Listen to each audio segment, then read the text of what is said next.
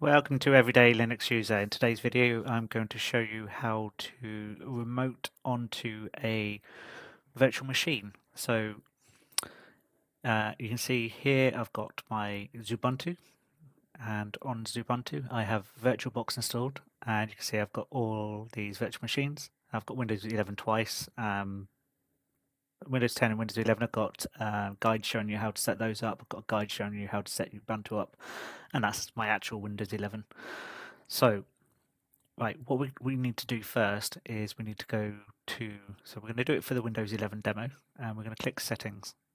We go down to Display, and we're going to click on Remote Display, and we're going to enable server. Uh, you can allow multiple connections, so um, more than one PC can connect or you can just leave it like that.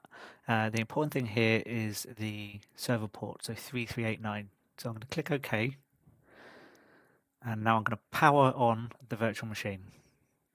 And whilst that's doing that, I'm going to go and get my Raspberry Pi, and I'm going to plug it in, and that's what I'm going to use to remote on to this virtual machine.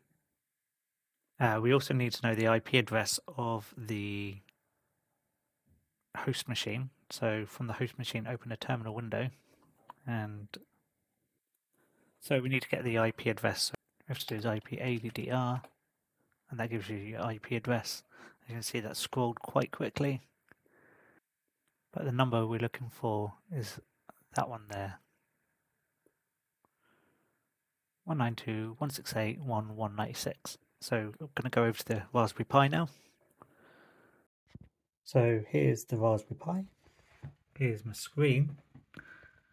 And what I'm going to do is I'm going to clear the screen. And I am going to rdesktop and type in the IP address. Sorry if this is a bit jerky.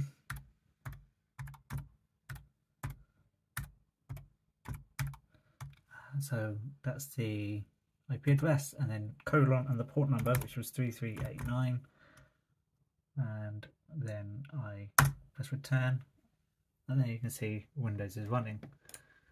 I can click that, I can enter the pin.